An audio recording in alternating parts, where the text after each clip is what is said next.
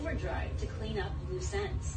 November 16, 2016, two weeks after Donald Trump's victory, Joe Biden is on the phone with Poroshenko. His voice tenser now than before. This is getting very, very close. What I don't want to have happen, I don't want Trump to get in the position where he thinks he's about to buy onto a policy where the financial system is going to collapse That's how he'll think about it before he gets sophisticated enough to know the details. In other words, Biden does not want Ukraine asking for more money from Trump. Doing so would cause Trump to look into the details.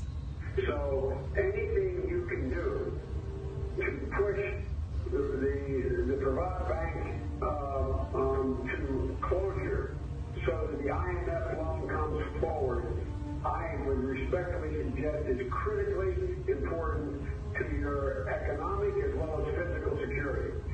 important